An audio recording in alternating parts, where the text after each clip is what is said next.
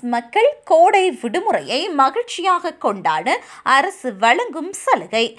பிரான்சில் மிகவும் மலிவு விலை பயணச்சீட்டுகளை விற்பனை செய்ய உள்ளதாக தேசிய ரயில் சேவையான எஸ்என்சிஎஃப் அறிவித்துள்ளது. எதிர்வரும் ஜூலை முப்பத்தி ஓராம் திகதிக்கும் ஆகஸ்ட் மாதம் முதலாம் திகதிக்கும் இடையிலான பயணங்களுக்கே இந்த பயணச்சீட்டு வழங்கப்பட உள்ளது. அதற்கமைய மூன்று லட்சம் ரயில் பயணச்சீட்டுகள் பயண தூரத்தை பொறுத்து இருபத்து ஒன்பது முப்பத்து ஒன்பது மற்றும் நாற்பத்தொன்பது யூரோக்களுக்கு மட்டுமே விற்பனை செய்யப்பட உள்ளதாக அறிவிக்கப்பட்டுள்ளது.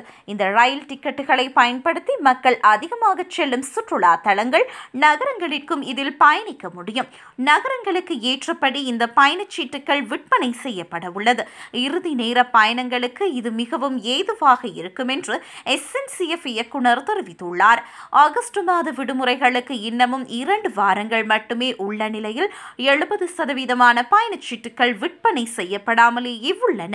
இந்த நிலையில் தொடர்ந்துகளை நிரப்புவதற்காக இந்த மலிவு விற்பனை திட்டம் உருவாக்கப்பட்டுள்ளது.